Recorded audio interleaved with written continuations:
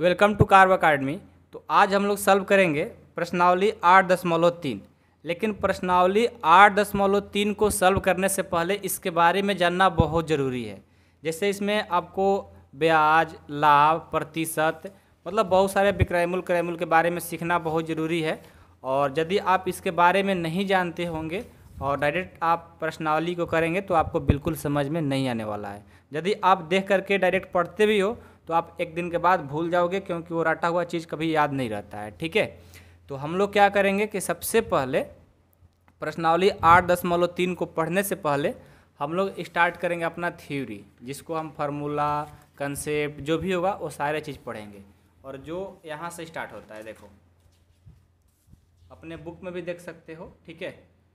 और आप लोग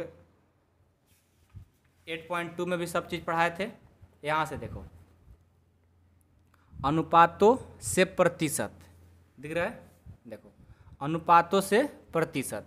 यहाँ से जो भी चीज़ दिया गया है, सभी चीज़ के बारे में डिटेल में पढ़ लेते हो तो फिर आपका जो प्रश्नावली आठ दशमलव तीन है, कोई दिक्कत नहीं होगा। ठीक है? क्या कहा है?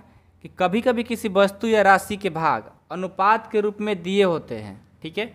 और उन्हें प्रतिशत में बदलना पड़ता है तो निम्न उदाहरण से ध्यान से देखिए। जैसे मान लो, दो वस्तु दिया है, ठीक है?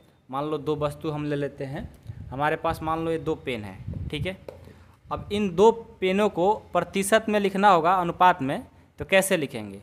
तभी हम तुलना करेंगे, जो कि आपका उदाहरण दिया है, उदाहरण नंबर चौदह में, कि रीना की माता, रीना के माता जी ने बताया कि इडली बनाने के लिए, मान लो इडली जो बनता है साउथ में, इडली बनाने के लिए एक भाग उदड़ की दाल, उदड़ की दाल तथा दो भाग चावल की आवश्यकता होती है। तो इडली के ऐसे मिश्रण में उदड़ की दाल की, उदड़ की दाल की चा, दाल का एवं चावल का प्रतिशत ज्ञात करना है। देखो, कह रहा है कि इडली बनाना है। इडली बनाने के लिए एक भाग उदड़ की दाल लिया गया है और दो भाग चावल लिया गया है।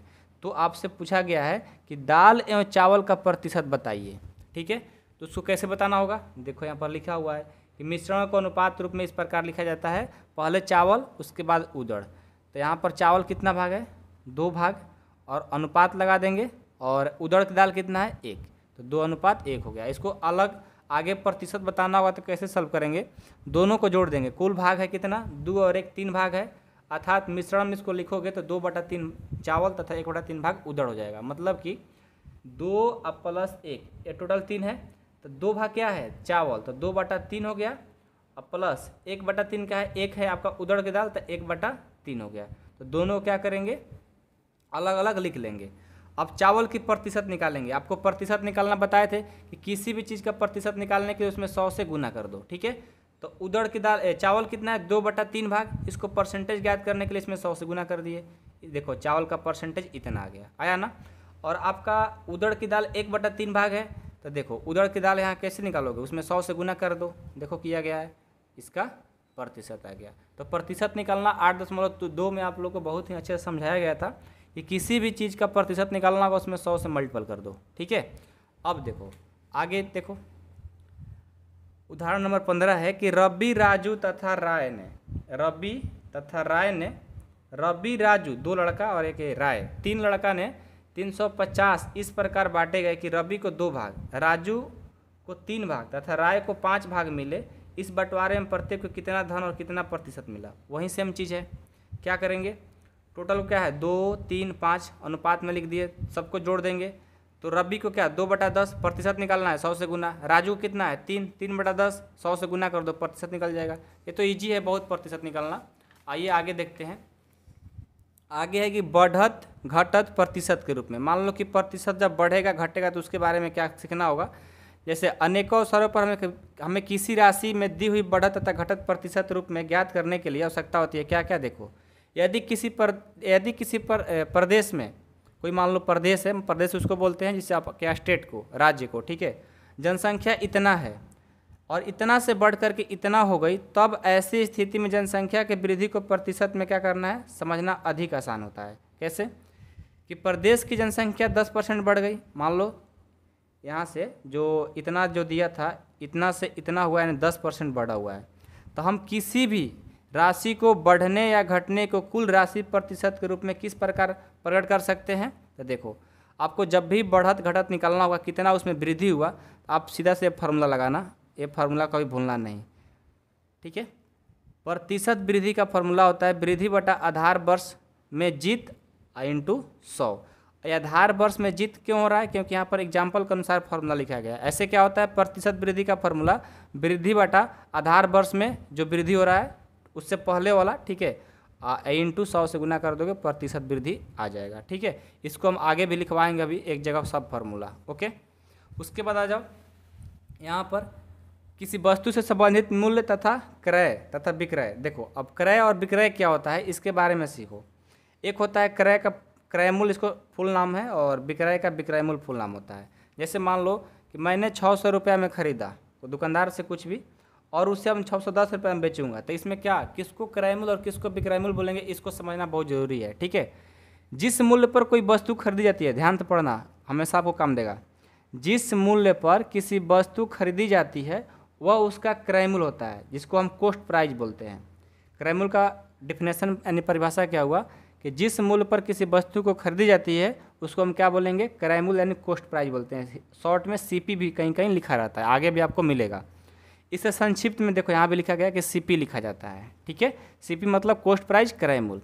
जिस मूल्य पर कोई वस्तु बेची जाती है, उसका क्या होता है? विक्रय मूल्य होता है। मतलब कि जो सामान आप किसी दुकानदार से खरीदोगे, उसको हम लोग क्रय मूल्य बोलते हैं कोस्ट प्राइस और जो हम लोग बेचते हैं, उसको बोलते हैं सेलिंग प्राइस यानी एसपी बोलते हैं, ठीक है? इसे संक्षिप्त में देखो एसपी कहा जाता है। कोई आपसे पूछ सकता है कि सेलिंग प्राइस यानी विक्रय मूल्य को शॉर्ट में क्या कहते हैं? तो एसपी बोलना, और क्रय मूल्य को सीपी आप इसे अधिक अच्छा कहेंगे कि यदि किसी वस्तु के क्रय मूल्य पर, यदि किसी वस्तु के क्रय मूल्य पर ही उससे कम मूल्य पर उससे अधिक मूल्य बेचा जाए तो क्रय मूल्य तथा विक्रय मूल्य का आधार में तय कर सकते हैं। कौन कौन कंडीशन है? देखो, आपको लाभ हुआ कि हानि हुआ, एक कंडीशन तय करेगा। यदि मान लो क्रय मूल्य आपका, क्रय मूल्य मान लो विक्रय मूल्य से क्या है? छोटा है ना? क्रय मूल्य यदि विक्रय मूल्य से छोटा हो जाएगा तो समझो क्या करना हो लाभ घटाने, लाभ के लिए विक्रय मूल्य में से क्रय मूल्य को घटाना होगा। ठीक है? यदि क्रय मूल्य अब की बराबर है विक्रय के, दोनों बराबर है तो आपको ना लाभ होगा ना हानि होगा। यदि क्रय इस बार बड़ा हो जाएगा विक्रय से तो इस बार क्या करेंगे, क्रय में से विक्रय को माइनस कर देंगे, आपका वो आंसर हानि में आ जाएगा। समझ गए बात को? इन तीनों चीज़ों को याद रखिएगा, ठीक है?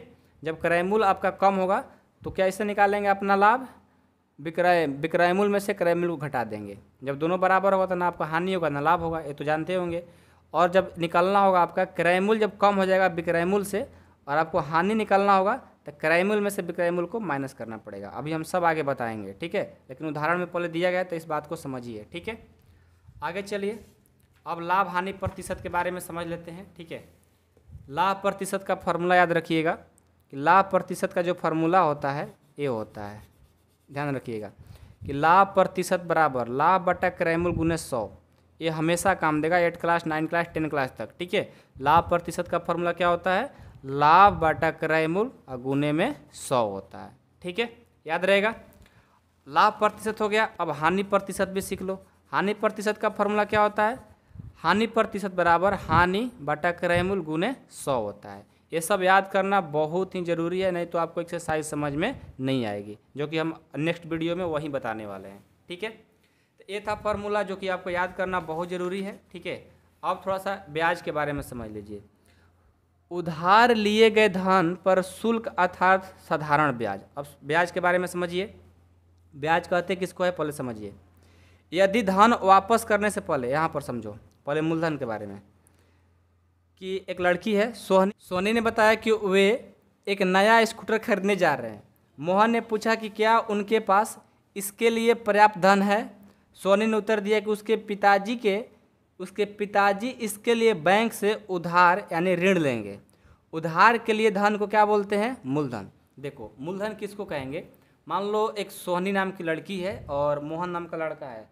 तो मोहन ने बोला सोहनी से कि हम हम एक स्कूटर ले रहे हैं। तो किसी ने बोला कि उसके पास पैसा है क्या?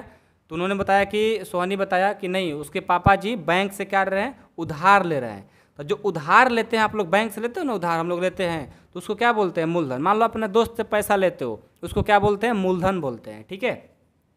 यह धन वापस करने से पहले ऋण प्राप्त करने वाले व्यक्ति द्वारा कुछ समय तक इसका उपयोग किया जाता है। अतः उससे उतने ही समय का धन उपयोग के लाने में बदले में कुछ अतिरिक्त धन बैंक देना होता है, जिसको ब्याज कहलाता है। जैसे देखो, आप किसी दोस्त से दस रुपये लिए हो तो उसको क्या बोलेंगे? मूलधन कहेंगे। और वहीं पैसा को, ठीक है, वहीं पैसा को अब आपका दोस्त क्या कहेगा कि यदि दस दिन के लिए रखोगे तो आपको दो रुपया और देना होगा। तो दो रुपया वो क्या होगा? वो ब्याज कहलाएगा, ठीक है? एक निश्चित अवधि के बाद आपको मूलधन तथा ब्याज दोनों को मिलाकर पूरा धन वापस करना होता है, उसी को क्या बोलते हैं? मिश्रण। यदि मान लो कि आपको पहले दोस्त से मूलधन लिए थे दस रुपया, ब्याज हो गया दो रुपया, यदि उसको बारह रुपया लौटाते हो तो उसको क्या बोलते हैं? मिश्रण बोलते हैं। क्या मिश्रण, मिश्रधन बोलते हैं? मिश्रण नहीं सॉरी मिश्रधन बोलते हैं, ठीक है? जो कि मिश्रधन का फार्मूला होता है मूलधन और प्लस ब्याज। दोनों को जोड़ दो, यानी मिश्रधन का फार्मूला होता है मूलधन प्लस ब्याज होता है, ठीक है? तो यही होता है, बस इतना ही आपको समझना है, बाकी आपको समझना नहीं है। तो लाभ प्रतिशत, हानि प्रतिशत मिश्रधन क्या होता है, ब्याज क्या होता है, मूलधन क्या होता है, इन सारे चीज़ों के बारे में हम लोगों ने आज सीखा, ठीक है? अब हम लोग प्रश्नावली आठ दशमलव तीन को सॉल्व करेंगे तो अच्छे से समझ में आएगा और आराम से आपको कोई प्रॉब्लम नहीं होगा, आराम से क्वेश्चन आप करने लग जाओगे, ठीक है? तो अगले वीडियो में हम प्रश्नावली आठ दशमलव तीन को सॉल्व करते हैं। तब तक के लिए वीडियो पसंद आए तो वीडियो को लाइक कर दीजिएगा, फार्मूला सब याद कर लीजिएगा, ठीक है? क्या क्या फार्मूला याद करना है? मूलधन का, ब्याज का, मूलधन का मिश्रधन का, हानि प्रतिशत, लाभ प्रतिशत और क्या? प्रतिशत वृद्धि। और क्रयमूल विक्रयमूल सीखना है। और क्रयमूल विक्रयमूल कब लाभ होगा, कब ना हानि लाभ होगा, कब हानि होगा, इसके बारे में बस चर्चा कर लीजिए। फिर तो मज़ा आ जाएगा। सारे एक्सरसाइज का सारे क्वेश्चन आप आराम से कर लोगे, ठीक है? चलिए मिलते हैं नेक्स्ट वीडियो में, तब तक के लिए थैंक यू सो मच